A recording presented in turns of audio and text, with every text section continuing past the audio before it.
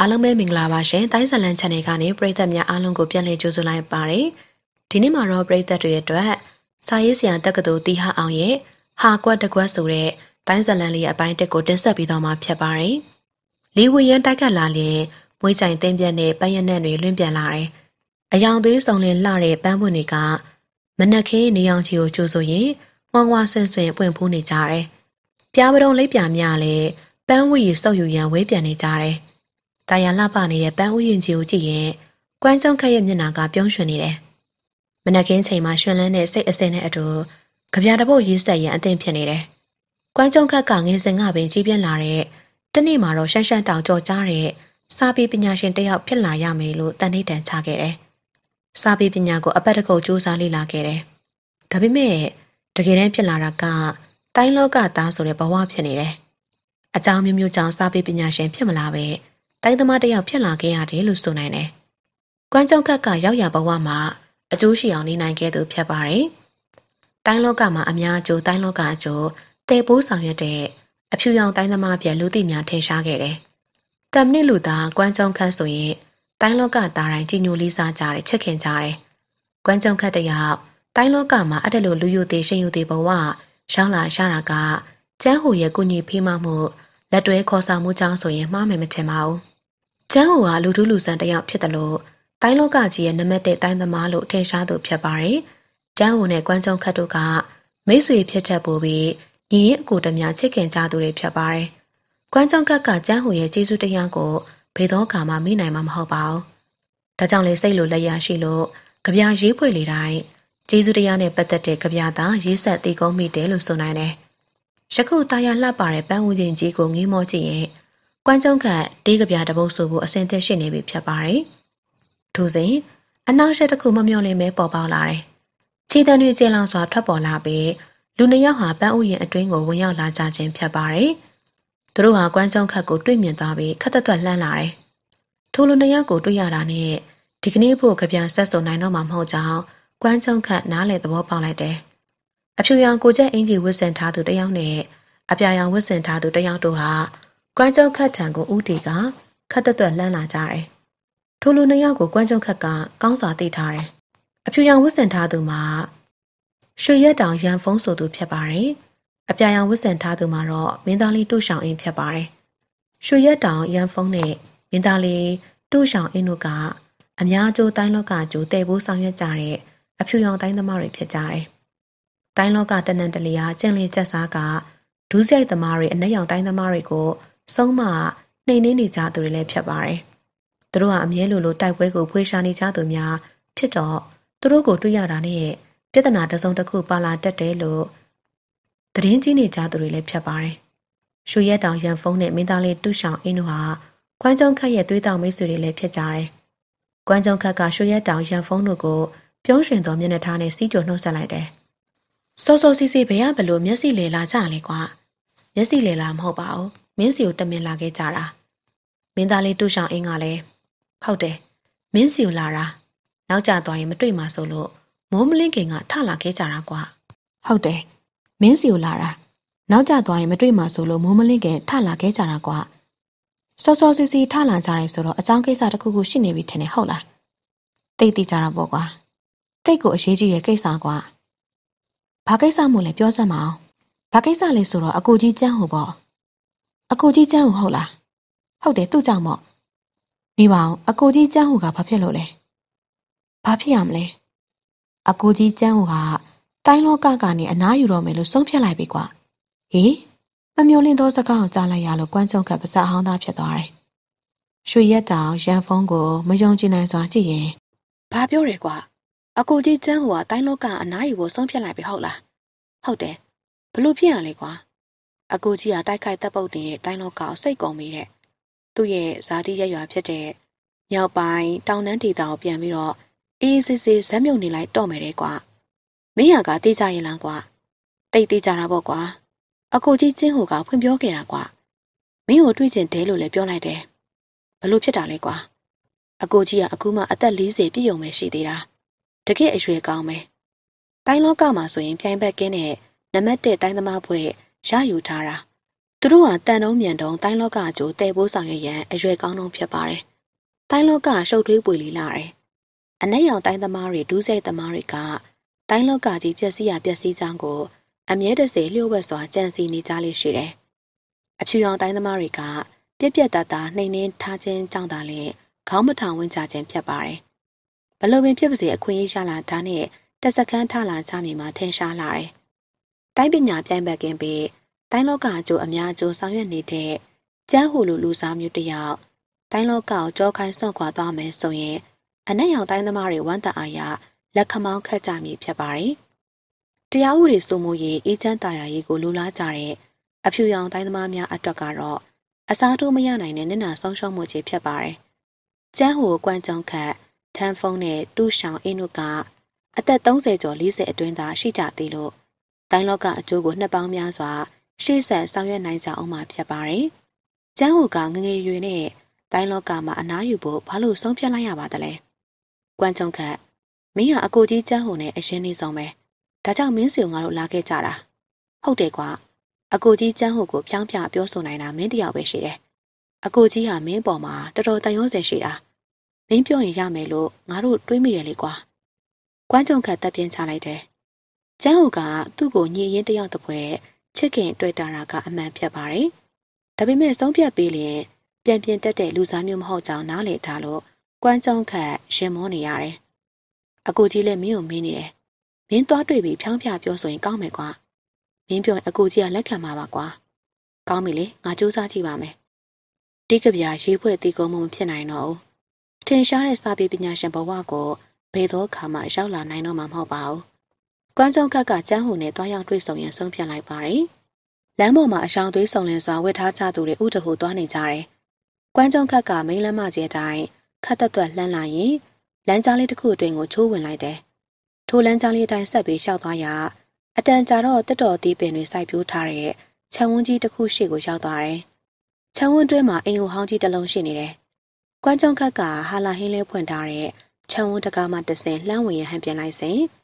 မြင်းခွာတန်တွေထွက်ပေါ်လာပြီးလှပစွာတစားဆင်ထားတဲ့မြင်းလေးတစ်စီးဟာခြံဝန်းအတွင်းမှာမောင်းနှင်ထွက်ခွာလာတာတွေ့လိုက်ရတယ်။မြင်းလေးမောင်းသူမှာငွေရောင်တဖိတ်ဖိတ်တောက်ပါနေတဲ့အဖိုးတန်ဝစ်စားတဲ့ဝစ်စင်ထားကကွမ်းကြုံခတ်ကိုအမှုမထားပဲမြင်းလေးကိုသာဂရုတစိုက်မောင်းနှင်သွားတယ်။မြင်းလေးပေါ်မှာစိုက်ထူထားတဲ့သတိကန်အလံလေးမှာတလူလူလွင့်ပါနေတယ်။ အလံပေါ်မှာကျင်းဆိုတဲ့စလုံးတစ်လုံးရှိသားထားတယ်။ကျင်းမြို့စာကြီးစီးနှင်းလိုက်ပါလာတဲ့မြင်းလေးဖြစ်ကြောင်းဖော်ပြထားတဲ့အလံလေးဖြစ်ပါတယ်။ကွမ်းကြုံခတ်ကသူ့ကိုဖျက်ကျော်သွားတဲ့မြင်းလဲကိုတမင်လေပြန်လှည့်ကမျက်စိတစုံကြည့်နေလိုက်တယ်။မြင်းလဲမြင်ကွင်းတွင်းမှာပျောက်ကွယ်သွားတော့မှอืมကျင်းညူစာကြီးကတော့တိုင်းပညာနဲ့ပတ်သက်လာရင်အတော့လေးစားစရာကောင်းတဲ့လူတစ်ယောက်ပါပဲ။ကျင်းမျိုးစားကျင်းမျိုးစားတိုင်းလောကမှာရှမ်းရှမ်းတောက်ကြော်ကြားခဲ့သူဖြစ်ပါတယ်။ ကျန်းဟိုတိုင်းလောကကိုချိန်မချမီက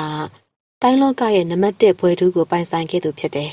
။ကျန်းဟိုတိုင်းလောကကိုရောက်လာတော့မှနံပါတ်1ပထမဘွယ်ထူးကိုလွှဲပေးလိုက်ရခြင်းဖြစ်ပါတယ်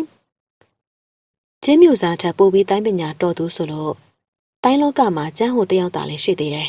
။နှစ်ပေါင်း30လုံးလုံးပထမပွဲကိုပိုင်ဆိုင်ထားနိုင်ခဲ့ပြီးကျန်းဟိုပေါ်ပေါက်လာတော့မှလွှဲပြောင်းပေးလိုက်ခြင်းဖြစ်ပါတယ်။ကျင်းမျိုးစားနဲ့ကျန်းဟိုတို့အခင်းမမပြတ်ကြပါဘူး။ ကျင်းမျိုးစားကကြုံရင်ကြုံတယ်လို့ကျန်းဟိုထံကိုလာရောက်လေဘက်ကတိုင်းပညာနဲ့ပတ်သက်ပြီးတော့ဆွေးနွေးဖလှယ်လေးရှိပါတယ်။ကျင်းမျိုးစားက၎င်းကျန်းဟိုက၎င်း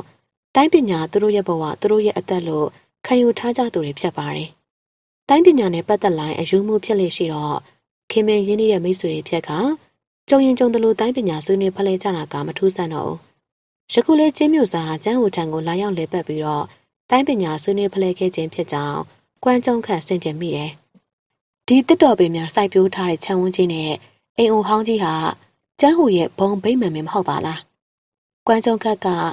အိမ်အိုဟောင်းကြီးစီကိုဦးတီကခတ်သက်သက်လှမ်းသွားလိုက်တယ်။အိမ်ရှိကိုရောက်သွားတော့ကျန်းဟူကအစင်သက်စောင့်ကြုံနေတာကိုတွေ့လိုက်တယ်။အခုကြီး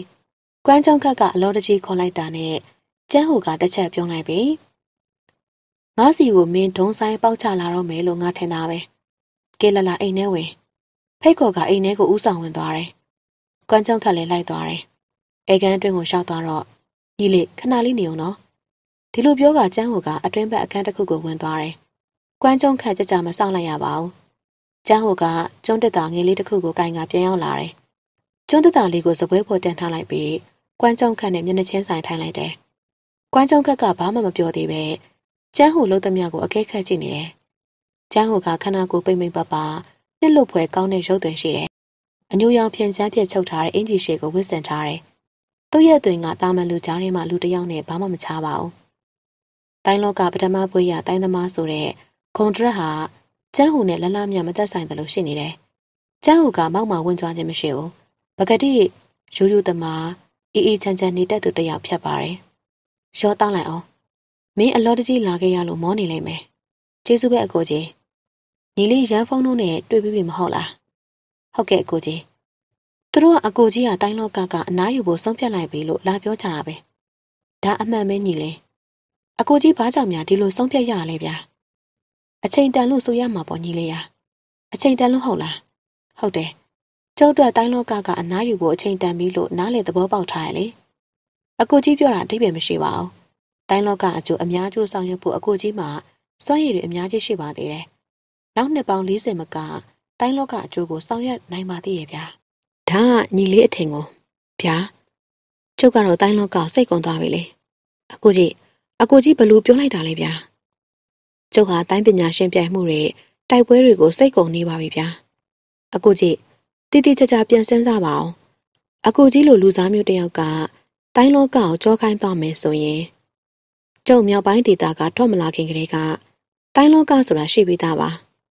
ကျုပ်မြောက်ပိုင်းကိုပြန်သွားရင်လည်းပဲတိုင်းလောကဆိုတာရှိနေအောင်ပါပဲကျုပ်အတွက်နဲ့တိုင်းလောကကြီးပြည့်စည်ပြောက်ွယ်သွားရမယ်ဆိုတာအတိတ်ပဲမရှိပါဘူးကျုပ်မရှိလို့မဖြစ်ဘူးဆိုတာကိုလက်မခံနိုင်ပါဘူးကွာတိုင်းလောကကျုပ်တယောက်တည်းအတွက်မှမဟုတ်တာပဲအကူကြီးမရှိတော့ရင်အနက်ရောင်တိုင်းသမားတွေကလက်ခမောင်းခတ်ကြလိမ့်မယ်ဆိုတာရောထဲမတွက်တော့လားယင်တိုင်းလောကကျုပ်တယောက်တည်းအတွက်မဟုတ်ဘူးလို့ပြောပြပြီလေကျုံမရှိပေမဲ့ညီလေးတို့ရှိနေအောင်မှာပဲမဟုတ်လား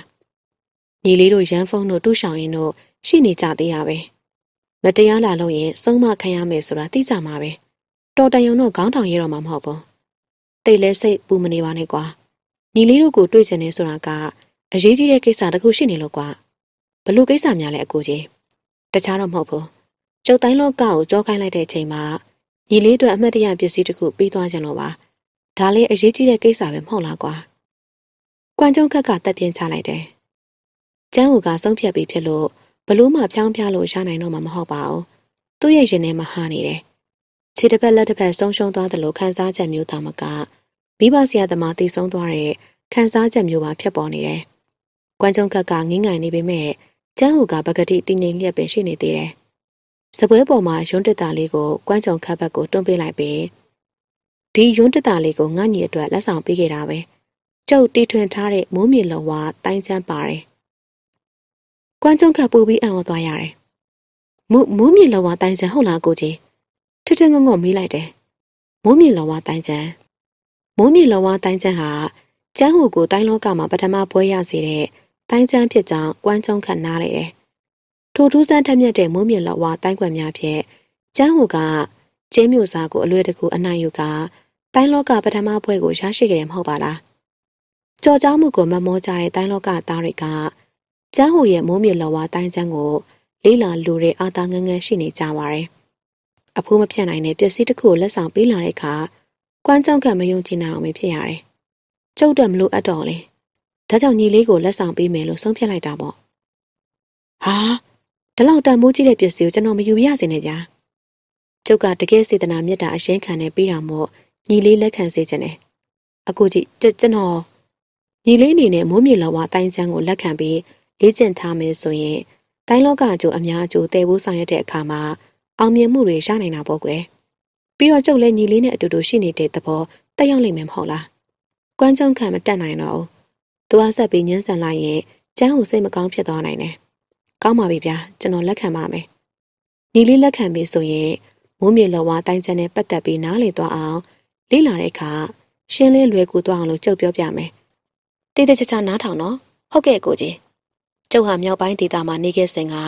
တိုင်းပညာဆိုတာဘလူဟာမျိုးလဲဆိုတာမသိခဲ့ဦးတဲ့လူတစ်ယောက်ပေါ့။ကျုပ်အရွယ်ရောက်လာတော့ကျုပ်အဖေနဲ့အတူတောထဲမှာအမဲလိုက်တယ်။ဆေးဘက်ဝင်တစ်တီးတစ်ဦးတူတယ်ဒီလိုနဲ့အသက်မွေးဝမ်းချောင်းပြုခဲ့တယ်မြောက်ပိုင်းတောင်တန်းဒေသကအဆင့်တစ်ဖြင့်နှင်းဖုံးနေတဲ့ဒေသဖြစ်ပါတယ်။မြမလာတဲ့တောင်တန်းကြီးတွေနှက်ဆိုင်တဲ့တောအုပ်ကြီးတွေပေါ်များလာသလိုတားရဲတလေးဆန်တွေလည်းပေါ်များလာတယ်။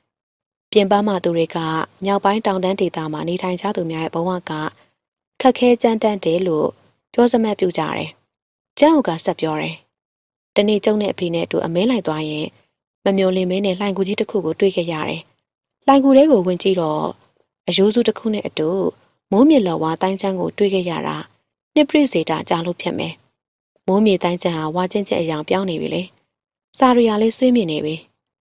ကျုပ်ရဲ့အဖေကဘ ഹു တုတရှိရဲ့လူတစ်ယောက်ဆိုတော့မိုးမြေလော်ဝါတိုင်းချမ်းဟာအဖိုးတန်လိမ့်မယ်လို့တွေးပြီးဂယုတဆိုင်နဲ့အိမ်ကိုတည်ယူသွားခဲ့တယ်။ဂူရဲကအယိုးစုကိုလည်းမြေမြုပ်ပေးလိုက်တယ်။ဒီလိုနဲ့မိုးမြေလော်ဝါတိုင်းချမ်းကိုတိတ်ဆောင်သွားကြပြီးအိမ်ရောက်တော့စာရေးဆက်ကိုတွေမြင့်တက်များအသုံးပြုပြန်လဲကူးယူခဲ့ကြကြောင်းသဘောပေါက်နားလည်လောက်အောင်အချိန်ချင်းဖတ်ရှုလေ့လာပြီးလက်တွေ့လေ့ကျင့်ခဲ့ကြကြောင်းမုံမြင့်လောဝါတိုင်းချမ်းကိုလေးလာတက်မြောက်ပြီးသွားချိန်မှာတော့ ဖခင်ဖြစ်သူမှာယောဂဝေဒနာတကူဆွဲကပ်ကတိတ်ဆုံးသွားခဲ့ကြောင်းသူဟာလည်းစိတ်လေကခြေဦးတရသွားလာခဲ့ရမှတိုင်းလောကကိုရောက်လာခဲ့ကြောင်းရှင်းပြလိုက်ပါတယ်။မိုးမြေလဝါတိုင်းချမ်းမှုရင်းဟာဟောင်းနှန်းဆွေးမြင့်နေပြီမို့ကျုပ်ကကူးယူပြီးတဲ့အခါမှာလုံးဝပျက်စီးသွားခဲ့တာပေါ့။ညီလေးကိုလက်ဆောင်ပေးမှကကျုပ်ကိုယ်တိုင်ကိုယူခဲ့ပြီးလေ့ကျင့်နေတိုင်းကြမယ်ကွာငါညီလေးလာလို့လွယ်ကူအောင်ရုံးတက်တာလေးကိုဖွင့်လိုက်ပြီးအဝါရောင်အဖုံးနဲ့ချုပ်ထားတဲ့မိုးမြေလော်ဝါတိုင်းချမ်းကိုထုတ်ယူလိုက်တယ် တပံမိုးမြေလော်ဝါတိုင်းချမ်းကိုဘယ်လိုပဲပုံလေးလာဖတ်ရှုရမယ်ဆိုတာကိုလည်းကောင်းလေ့ကျင့်ပုံကိုလည်းရှင်းလင်းပြောပြလိုက်တယ်သူရဲ့အကောင်းဆုံးတိုင်းပညာကိုမချွင်းမချန်လွှဲပေးနေတော့ကွမ်းကြုံခက်ရဲ့ရှင်ထဲမှာဖော်မပြနိုင်တဲ့ခန်းစားချက်တွေဖြစ်ပေါ်လာတယ်။ကဲငါညီတိတိကျကျသိမ်းထားပြီးတော့လေးလာပြီးတော့မိုးမြေလုံဝတိုင်းချမ်းကိုအပီးအပိုင်လွှဲပြောင်းပေးလိုက်တော့တယ်။ကွမ်ကျုံခန့်ကလက်နှစ်ဖက်ဆုပ်ကဥညွတ်လိုက်တယ်။အကိုကြီးရဲ့ကျေးဇူးကိုကျုပ်ဘယ်တော့မှမမေ့ပါဘူးဗျာ။ကိစ္စမရှိပါဘူးကွာ။ ကျုပ်မြောက်ဘက်ဒေသကိုယူသွားလို့လဲထူးမှမမဟုတ်တာ။ညီလေးကိုလက်ဆင့်ကမ်းပေးလိုက်ရင်တိုင်းလောကကျိုးအများကျိုးတဲ့ဖို့ဆောင်ရွက်ရမှာတစိမ့်တတိသားတော့အထောက်ကိုပြုနိုင်မယ်မဟုတ်လား။တစိမ့်တတိသားမဟုတ်ပါအကိုကြီးဟာအများကြီးအထောက်ကိုပြုမှာပါ။ကျုပ်ဟာမကောင်းသူပဲကောင်းသူခဲ့တဲ့နေရာမှာပဲမိုးမြေတိုင်းချမ်းကိုအသုံးပြုမယ်လို့ကတိပေးပါတယ်ဗျာ။อืมငါညီကိုနောက်ဆုံးအနေနဲ့တတိပေးစရာတခုရှိသေးတယ်။ဟုတ်ကဲ့ပြောပါကိုကြီး။ငါညီမိုးမြေလဝါတိုင်းချမ်းကို လေ့ကျင့်မယ်ဆိုရင်ကြုံမရှိတော့တဲ့နောက်ပိုင်းမှာငါညီအထူးတတိထားမှာကကျင်းမျိုးစာပဲဖြစ်လိမ့်မယ်။ကျင်းမျိုးစာတိုင်းပညာနဲ့ပတ်သက်လာရင်အိမ်မပြောစားမွေနိုင်သူမို့ကျန်းဟိုမရှိတော့ရင်မိမိကိုကျန်းဟိုရဲ့တိုင်းပညာကိုလက်ဆင့်ကမ်းခံယူထားမှသိရင်မိမိထံကိုလာပြီးတိုင်းပညာဆွေးနွေးဖလှယ်လိမ့်မှာကိုကျန်းဟိုကကြိုတင်ရှိမိကပြောဆိုခြင်းဖြစ်ရမယ်လို့နားလည်လိုက်တယ်။ကျုပ်စကားကိုလေးလေးနက်နက်နားထောင်ပါမလို့အဖေမိုးမြေလော်ဝါတိုင်းပညာကို ဘယ်တော့မှထုတ်မသုံးလေနဲ့ဖြစ်နိုင်ကျုပ်စီကမိုးမြေလော်ဝါတိုင်းကျန်လက်ဆင့်ကန်ရှာထားခဲ့တာဘသူမှမသိပါစေနဲ့လူသူနဲလေပိုကောင်းနေပဲကောင်းပါပြီအကိုကြီးရွှေရက်တောင်ရန်ဖုန်းတို့တော့အတိမပေးပဲထားပါမယ်ခင်ဗျာကဲကျုပ်ကငါညီကိုပေးစရာရှိရလဲပေးပြီးပြီးမှားစရာရှိတာတွေလည်းမှားပေးပေးငါညီကရောဘာပြောစရာရှိသေးလဲကျွန်တော်ပြောချင်တာကဖြစ်နိုင်ရင်အကိုကြီးတိုင်းလောကကိုကြောခိုင်းလိုက်မယ်ဆိုတဲ့ကိစ္စပြန်ပြီးတော့စဉ်းစားစီစဉ်ပါရဗျာ ညီလေးကျုပ်ကဆုံးဖြတ်ပြီးပြီကွယ်နောက်ဆုံးစကားဆိုလိုက်ခြင်းဖြစ်ကြောင်းကွမ်းကြုံကဘာမှမပြောတော့ဘူးကျန်းဟုတ်ကိုသာငင်းမောကြည့်နေမိတယ်ကွမ်းကြုံကကအရက်ခွက်ကိုငေးကြည့်နေတယ်သူ့ရဲ့ရင်ထဲမှာတင်းကျပ်နေတယ်အရက်မတော့ရခင်ခေါင်းထဲမှာမူးနောက်ကြည့်ဝေးနေတယ်။ကွမ်းကြုံကဘလောက်ကြောင်ငီးမောနေမိမှမသိဘူး။လက်ဆက်သက်တော့မင်းကဒီမှာရောက်နေတာ哦။စကားတန်နဲ့တူရောက်ရှိလာတော့တွေ့လိုက်ရှာတယ်။ရွှေရက်တောင်ရန်ဖုံးနဲ့မင်းသားလေးတူဆောင်အင်းတို့ရောက်လာကြခြင်းဖြစ်ပါတယ်။ သူတို့ဟာကွမ်းကြုံခက်နဲ့မျက်နှာချင်းဆိုင်ဝင်ထိုင်လိုက်ကြတယ်။ကွမ်းကြုံခက်ကကျန်းဟူနဲ့လန့်ခွဲပြီးတစ်ချိန်လုံးစားတော့ဆိုင်တစ်ဆိုင်မှာအချိန်ဖြုံးနေခဲ့ခြင်းဖြစ်ပါတယ်။ရွှေရက်တောင်ရန်ဖုံးနဲ့မင်းသားလေးတူဆောင်အင်းတို့ကကွမ်းကြုံခက်ကိုအကဲခတ်ကြည့်လိုက်ပြီးတော့ကွမ်းကြုံခက်အချိန်နေဘလို့လဲဟဲ့ငါဘာမှမတတ်နိုင်တော့ဟေးငါပြောတာပဲအကူကြီးကဆုံးဖြတ်ချက်ချပေးပြီဆိုရင်ဘယ်တော့မှပြုတ်ပြင်တော့မှာမဟုတ်ဘူးอืมပြောလို့မရအောင်လားဟင်းဓာတ်ဖြစ် အကူကြီးကမြောက်ပိုင်းဒေတာပြန်သွားတော့မယ်အကူကြီးမရှိတော့ပေမဲ့ငါတို့ကတိုင်းလောကအကျိုးဆက်ပြီးတဲပိုးဆောင်ရွက်သွားကြပါလို့မှားသွားတယ်ငါတို့ကတိုင်းလောကဘယ်တော့မှစွန့်ခွာသွားမှာမဟုတ်ဘူးငါလေးတိမ်မပဲတိုင်းလောကကိုကြောခိုင်းလိုက်တော့မယ်ငါလေးတိုင်းလောကမှာပဲတက်တက်လုံးနေသွားမှာပါကွာဒါပေမဲ့ဒါပေမဲ့ဘာဖြစ်လဲအခုလောလောဆယ်တော့ငါကောင်းနေထုပူနေတယ်စိတ်လေးရှုပ်နေတယ်။ဒါကြောင့်စိတ်ပြေလက်ပြောက်ခရီးထွက်လိုက်အောင်မယ်။အော်တူးဆောင်အင်းနဲ့ရန်ဖုန်းတို့တက်ပြင်းချလိုက်တယ်။ ကွမ်းကြုံကဘလို့ခံစားရမလဲဆိုတာကိုသူတို့သဘောပေါက်ထားကြတယ်။ကျန်းဟိုကိုပြောင်းပြလို့မရနိုင်မှန်းသိကြပြီဖြစ်လို့စိတ်သက်ကြနေတယ်။ကွမ်းကြုံခက်ကစိတ်ပြေလက်ပြောက်ခရီးထွက်မည်ဆိုတော့အခါတူးဆောင်အင်းကငါတို့လည်းလိုက်မယ်ကွာ။ဟုတ်တယ်။ငါတို့လည်းဒီတိုင်းနေပြင်းစရာကောင်းပါပဲ။စိတ်ပြေလက်ပြောက်ခရီးထွက်ကြတာပေါ့။ငါအပျော်ခရီးထွက်မှာမဟုတ်ဘူးကွာ။မင်းကဘေးသွားမလို့လဲ။ချမ်းအမျိုးပြင်ကကျူးရင်ပုံချောင်းကိုသိရင်မဟုတ်လားသိတယ်ဘာဖြစ်လို့လဲ ငါအဲ့ဒီမှာသွားပြီးတရားထိုင်မှာဟာကွာတူးဆောင်ရင်းနဲ့ရန်ဖုန်းတို့ပါဇက်အဟောင်းသားဖြစ်သွားတယ်ကွမ်းကြုံခက်ကိုမယုံကြည်နိုင်စွာကြည့်ရင်မင်းမင်းဘလို့ပြောလိုက်တာလဲအကူကြီးအတွက်ငါဝမ်းနဲ့ကြေကိုရတဲ့စိတ်ကိုဖြေဖြောက်ဖို့ဒီနည်းလည်းမရှိတော့တယ်မင်းဟာလေကွာငါဆုံးဖြတ်ပေးပြီတူးဆောင်မျက်နှာရှုံးမဲ့သွားတယ်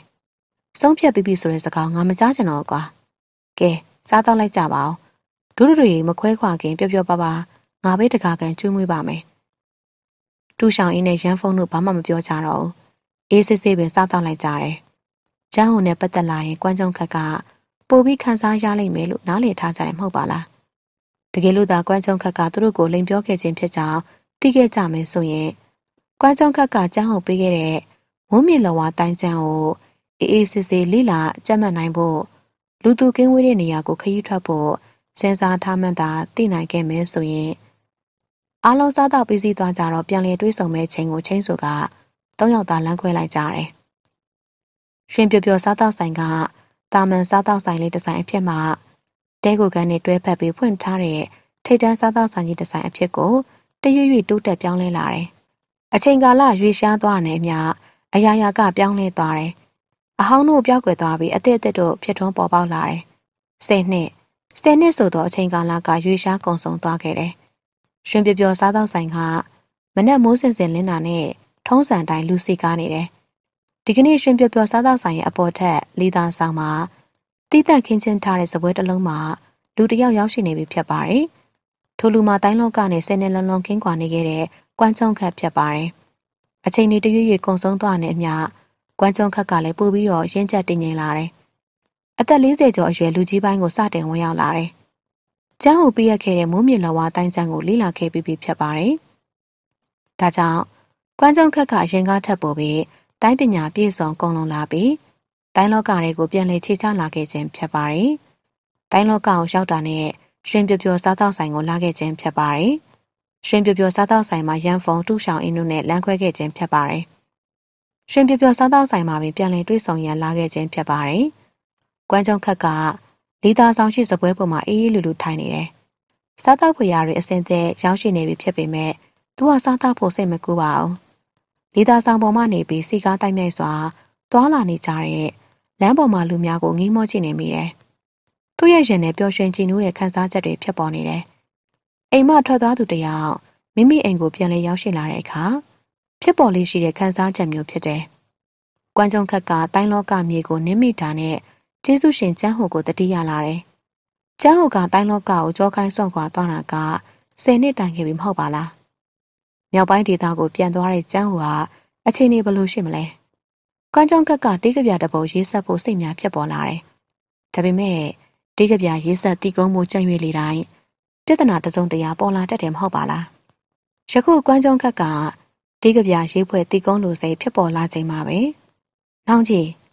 ခေါ်တန်နဲ့အတူဆိုင်လူလင်တယောက်ကအနီးကိုချင်းကပ်လာတာကြောင့်အတွေးတွေပြတ်သွားတယ်။ဘာကိစ္စလဲဗျ။နောင်ကြီးရဲ့နာမည်ကကွမ်းကျုံခတ်ဟုတ်လားဗျ။ဟုတ်တယ်ဘာဖြစ်လို့လဲ။အော်နောင်ကြီးကအောက်ထပ်မှာဆိုင်ရှင်းကိုမိတ်ဆွေနှစ်ယောက်လာရင်အပေါ်ထက်ကိုလွတ်လိုက်ပါလို့မှားကြားသွားခဲ့တာကြောင့်ဟုတ်တယ်လေကျုပ်ရဲ့မိတ်ဆွေတူဆောင်အင်းနဲ့ရန်ဖုန်းတို့ရောက်လာရင်ဒီပေါ်ထက်ကိုလွတ်လိုက်ဖို့ကြုံမှားခဲ့တာပဲကျွန်တော်တို့ဆိုင်ရှင်အလုံများနေရကြောင့်နောင်ကြီးမှကြားသွားတာကိုအမှတ်တမဲ့ဖြစ်သွားတာပါ။ နောင်ကြီးနဲ့ပတ်သက်ပြီးဒီမှာလာမာတဲ့လူရှိပါတယ်။ဘသူလဲဘာမှထားရလဲ။ကျေးဇူးပြုပြီးဆိုင်ရှင်နဲ့တွေ့ပါလားခင်ဗျာ။ဆိုင်ရှင်ကပြောပြပါလိမ့်မယ်။ကောင်းပြီလေ။ဆိုင်ရှင်နဲ့ကျုပ်သွားတွေ့လိုက်ပါမယ်။ပြောပြောဆိုဆိုထိုင်ရမှထိုင်ရဟန်ပြန်လိုက်တယ်။ထို့စဉ်မိတ်ဆွေကျုပ်ကိုဘလို့မှသဘောမထားပါနဲ့ဗျာ။စကားတန်နဲ့အတူဆိုင်ရှင်ရောက်လာတာကိုတွေ့လိုက်ရှာတယ်။ဆိုင်ရှင်ကလက်ဝဲရမ်းပြလိုက်တော့ဆိုင်လို့လင်ထွက်သွားတယ် ဆိုင်ရှင်ကကွမ်းကြောင်းခတ်ကိုအညွှတ်လိုက်ပြီးကျုပ်ကအလုံများနေရကြောင်းအဲဝတ်မကြည့်သလိုတောင်းဝမကြည့်ပြက်ကွက်သလိုဖြစ်ခဲ့ရင်တောင်းမှန်ပါတယ်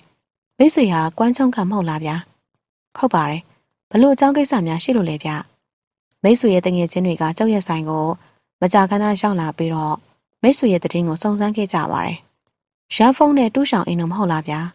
ဟုတ်ပါတယ်ဟုတ်ပါတယ်သူတို့ပါပဲကဲဆိုစမ်းမအောင်သူတို့ကဘာရီများမှားကြားသွားကြလို့လဲ ရန်ဖုန်းဆိုတဲ့လူကတကယ်လို့များမိတ်ဆွေရကျုပ်ရဲ့ဆိုင်ကိုရောက်လာခဲ့တဲ့ဆိုရင်ဗျိုင်းဝါရေကန်ကို လိုက်လာခဲ့ဖို့ပြောပြဖို့မှားကြားထားပါရဗျာဗျိုင်းဝါရေကန်ဟုတ်ပါတယ်ဗျာဗျိုင်းဝါရေကန်မြို့တောင်ဘက်10မိုင်ခန့်အကွာမှာရှိတဲ့ရေကန်ကြီးတစ်ခုဖြစ်ပါတယ်ရွှေရက်တောင်ရန်ဖုန်းရဲ့ညီဝမ်းခွဲတယောက်နေထိုင်လျက်ရှိတဲ့နေရာလေးဖြစ်ပါတယ်ရန်ဖုန်းကသူ့ရဲ့ညီဝမ်းခွဲအိမ်ကိုလာဖို့မှားကြားထားခြင်းဖြစ်ကြောင်းထင်မြင်မိတယ်ဒါကြောင့် အခုလိုပြောပြတာကျေးဇူးပါပဲဗျာကြုတ်လိုက်သွားပါမယ်ပြောရင်စားတော့ခကြားတဲ့ငွေကိုပေးချင်လိုက်တယ်မစားမတော့ပဲငွေပေးလို့ဆိုင်လူလင်အာတုတ်အာနာဖြစ်သွားတယ်ထို့စဉ်ကေတော်မူကြပါစူးရှားတဲ့အော်ဟစ်တန်တစ်ချက်ထွက်ပေါ်လာတယ်သူလှည့်ကြည့်လိုက်တဲ့အခါလမ်းပေါ်မှာရုပ်ရုပ်တဲတဲဖြစ်သွားတာကိုတွေ့လိုက်ရှာတယ်တခဏအတွင်းမှာပဲမဆိုင်သူတွေဘေးကိုခွဲသွားကြလို့လမ်းပေါ်မှာဖြစ်ပေါ်နေတဲ့ပြဿနာကိုကွက်ကွက်ကွင်းကွင်းတွေ့မြင်လိုက်တယ်လူတန်ကြီးနှစ်ယောက်ကမိန်းကလေးတစ်ယောက်ကို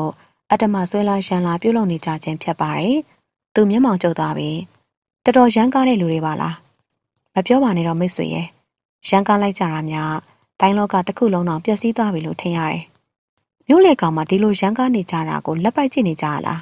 ။မကောင်းတဲ့လူတွေရမ်းကားနေကြတာအတင်ရဲနေကြတာမစမ်းပါဘူးလေ။တိုင်းသမားတွေကကိုနဲ့မဆိုင်သလိုသဘောထားနေကြတာပဲမဟုတ်လား။သူတို့ကိုသူတို့တိုင်းလောကပထမဘွဲရဖို့လောက်သာစူးစမ်းနေကြတာ။ တခြားဘာကူမှလှည့်မကြည့်တော့ဘူး။တိုင်းလောကပထမဖွဲရအောင်စူးစမ်းကြတယ်ဟုတ်လား။ဟုတ်ပါတယ်ဗျာ။ကျုပ်ရဲ့ဆိုင်ကိုတိုင်းလောကသားတွေဝင်ထွက်သွားလာနေကြတော့သူတို့ပြောတဲ့စကားတွေကိုအမြဲတမ်းကြားနေကြတာပေါ့ဗျာ။တိုင်းလောကပထမဖွဲရထားတဲ့တိုင်းသမားဟာတိုင်းလောကကိုကြောခိုင်းတော့တာဆယ်နှစ်ရှိပြီတဲ့။ဒါကြောင့်တိုင်းလောကပထမဖွဲနေရအတွက်ရှင်ပြိုင်ပွဲကျင်းပပြီးရွေးချယ်ကြမယ်လို့ပြောနေကြတယ်။သူကတက်ပြင်းချလိုက်တယ်။တိုင်းလောကပထမဖွဲက တိုင်းလောကသားတွေအတွက်အယူမှုဖြစ်စေတာကအမှန်ပဲတိုင်းလောကနဲ့ကင်းကွာနေကြရယခုပြန်လေခြေချမိလျင်အခြေအနေတွေရှုပ်ထွေးနေလိမ့်မယ်လို့စင်ကြင်မိတယ်သူတွေးတောနေစမှာကေတော်မကြပါမိန်းကလေးရဲ့ဆူးရှာတဲ့အော်ဟစ်တန်တန်ထပ်မံထွက်ပေါ်လာတယ်သူကြည့်လိုက်တဲ့အခါလူတန်ကြီးနှစ်ယောက်ကဆွဲခေါ်လို့မရလို့မိန်းကလေးကိုရိုက်နှက်နေကြတာကိုတွေ့ရတယ်သူစိတ်မကောင်းဖြစ်သွားတယ်ဆယ်နှစ်ဆိုတဲ့အချိန်ကာလအတွင်းအခြေအနေအရရက်ကအပြောင်းလဲခြင်း ပြောင်းလဲသွားပြီမဟုတ်ပါလားသူမနေနိုင်တော့ပါဘူးကျုပ်ကိုခွင့်ပြုပါအောင်ဗျာဆိုင်ရှင်ကိုနှုတ်ဆက်ကလေးသားဆောင်ပေါ်မှခုံဆင်းလိုက်တယ်သူ့ရဲ့ခန္ဓာကိုယ်ကမြားတစင်းပမာထိုးထွက်သွားပြီငှက်တကောင်မြေပေါ်ပြန်ဝဲဆင်းလိုက်တယ်လို့လမ်းမပေါ်ရောက်ရှိသွားတယ်ဆိုင်ရှင်ကကွမ်းချုံခတ်ကိုကြည့်ရင်ပါဇက်အဟောင်းသားဖြစ်သွားတယ်ကွမ်းချုံခတ်ကအဖြူရောင်တိုင်းသမားတစ်ယောက်ဖြစ်ပါတယ်ဆယ်နှစ်ဆိုတဲ့ချိန်ကာလကုံဆုံးသွားသည့်တိုင်သူ့ရဲ့ခံယူချက်နဲ့သဘောထားကပြောင်းလဲမသွားပါဘူး မတရားမှုကိုမြင်ရင်လက်ပိုက်ကြည့်မနေတတ်တဲ့ညံတိုင်းလမ်းပေါ်မှာဖြစ်မှာပါဝင်ပတ်သက်ရင်ဆုံးဖြတ်လိုက်တယ်။သူဟာစားတော့ဆိုင်ပေါ်တက်မှာခုံဆန်းလိုက်စင်ပါပဲ။ခမည်းတော်မတရားမလုပ်ကြနဲ့။လူငယ်တယောက်ကအမြင်မတော်သလိုဂျားကနေဝေဟန်တားလာတော့တွေ့ရတယ်။လူတန်ကြီးနှစ်ယောက်နဲ့တယောက်ကမင်းကလေးကိုရိုင်မောင်းပုံမောင်းလောက်ကအတွင်းဆွဲခေါ်နေတယ်။ကျန်တယောက်ကလူငယ်နဲ့မျက်နှာချင်းဆိုင်လိုက်တယ်။ဘာပြောနေကွာမင်းနဲ့ပါဆိုင်လို့ဝေရှုပ်ချင်ရလဲ။မိုးကြိုးရဲတိုက်ကြောင်ကိုမသိသေးဘူးထင်တယ် ခမရတို့ရဲ့လောက်ရဟာတရားလက်လော့ထင်တိုင်းကျဲတယ်လို့ဖြစ်နေပြီဆိုတာထည့်စဉ်းစားပါအောင်ဗျလူတန်ကြီးရဲ့အမားကိုထောက်ပြကတခဏစောတကတက်လိုက်တယ်လူတန်ကြီးဒေါပွားသွားတယ်မင်းတော်တော်ရှာရှိပါလားတေဖို့သာပြန်ထားအော်ငေါရင်းနဲ့လူငယ်ရဲ့မျက်နှာစီကိုလက်သီးတစ်လုံးပြစ်သွင်းလိုက်တယ်လူငယ်ရှောင်တိန်ရန်စူးစမ်းလိုက်ပေမဲ့လူတန်ကြီးရဲ့တိုက်ခိုက်မှုကလှိမ့်မြန်လွန်းလာလို့ဘလို့မှမရှောင်တိန်နိုင်တော့ပဲအောင်မလေးပြစူးရှားတဲ့အတန်နဲ့အတူပလက်လန်လဲကျသွားတယ် လူငယ်ရဲ့မျက်နှာတစ်ခုလုံးသွေးချင်းချင်းနေရသွားတယ်။ဒီမှာ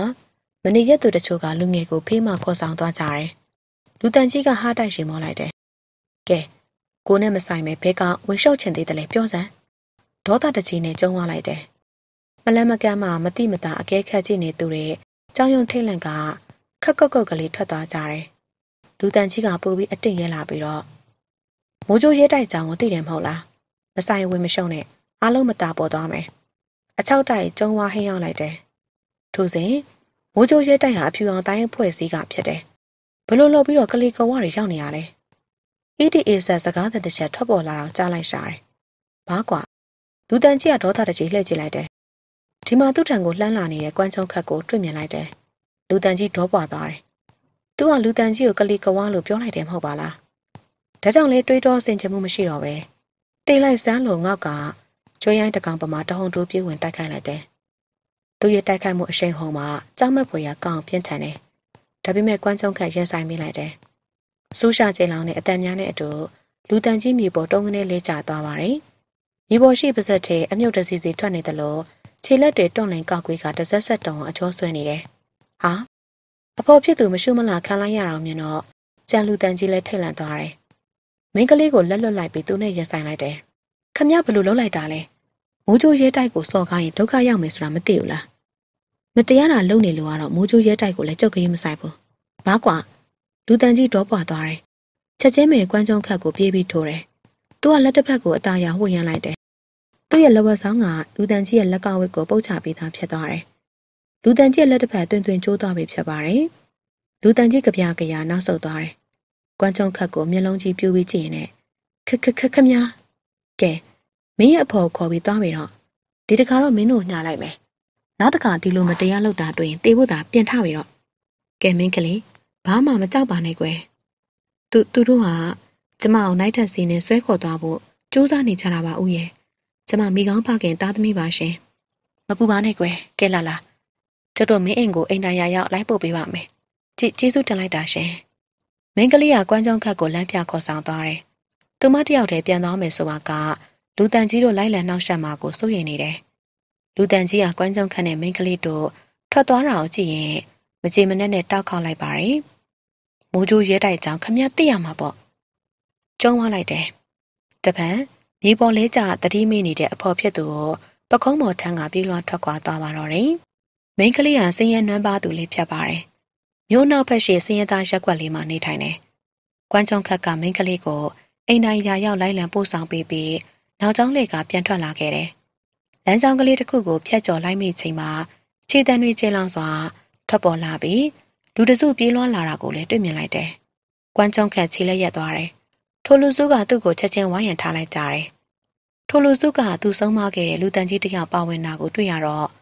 အချင်းတွေကိုကွမ်းချုံခက်သဘောပေါက်လိုက်တယ်။လူတန်ကြီးခံလိုက်ရတာကိုမကျေနပ်လို့အပေါင်းဖော်ရီခေါ်ကပြန်လာခဲ့ခြင်းမဟုတ်ပါလား။ လူတန်ကြီးကခံလိုက်ရတာကိုမကျေနပ်လို့အပေါင်းဖော်များကိုခေါ်ကပြန်လာခဲ့ခြင်းမဟုတ်ပါလား။ကျုပ်တို့စောကားတော့တာသူ့ပဲဆရာလုံး။လူတန်ကြီးအားကိုတကြီးနဲ့ပြောလိုက်တယ်။ဆရာလုံးဆိုသူမှာကွမ်းကြောင်းခန့်နဲ့အသက်ချင်းမတိမ်မရင်ရှိတယ်။အသားမဲမဲမျက်နာလေးတောင်ဆက်ဆက်အကြီးတန်းသူဖြစ်ပေမဲ့အဖိုးတန်အကောင်စာအဝတ်စားတွေဝတ်ဆင်ထားတယ်။ကွမ်းကြောင်းခန့်စိတ်ထဲမှာရှိချင်လာတယ်။ဒါပေမဲ့မရည်ဘဲနဲ့ခက်တိတိဖြစ်အခြေအနေကိုစောင့်ကြည့်လိုက်ပါတယ်။ဆရာလုံးဆိုသူကလည်းမျက်လုံးထောက်ကက်ကသူ့ကိုအကဲခံနေတယ်။ อืมမိုးကြိုးရဲတိုက်ကိုစော်ကောင်းဝင်တာနေတဲ့တက်တိမဟုတ်ဘူး။ဟေ့သူ့ကိုမှတ်လောက်သားလောက်ပြောင်းဆုံးမလိုက်စမ်း။ဘာကူမှမစင်ချင်ပဲလူတန်ကြီးရဲ့စကားကိုရှုံကတစ်ချက်လို့အမိတ်ထုတ်လိုက်တယ်။တေဘူးသာပြန်ထားစုံမလိုက်ကြဟဲ့။ဆရာလုံရဲ့လူတွေကညာတန်ပေးကကွမ်းကြုံခတ်တံကိုပြေးဝင်တိုက်ခိုက်ပါတော့တယ်။သူမချင်မနှက်ဖြစ်သွားတယ်။စီကမ်းမဲ့ပြီးတရားလက်လို့ပြုလုပ်နေတဲ့မိုးကြိုးရဲတိုင်းမှလူတွေကိုစုံမမဖြစ်တော်မယ်လို့စင်ကြင်မိတယ်။ဒါကြောင့် ရှီရှီဝဝေးစဉ်းစားမနေတော့ပဲသွားစမ်းလို့ငေါက်ကလက်ဝဲရလိုက်တယ်။ပြေးဝင်တိုက်ခတ်လာကြတဲ့ဆရာလုံရဲ့လူတွေကအောင်မလေးသေပါပြီဗျဆိုးရှာကျေလောင်နဲ့အော်ဟစ်တန်များနဲ့အတူတယောက်ပြီးတယောက်လေးကြသွားပါတော့တယ်ပရိသတ်များရှင်နောက်ရက်တွေမှာလည်းကျမတို့ရဲ့ channel ကနေအခုတင်ဆက်ပေးခဲ့တဲ့တိုင်းဇလန်းလေးအခန်းဆက်ကိုတင်ဆက်ပေးသွားမှာဖြစ်ပါတယ်အခုလိုမျိုးအားပေးနားဆင်တဲ့အတွက်လည်းကျေးဇူးများကြီးတင်ပါတယ်ရှင်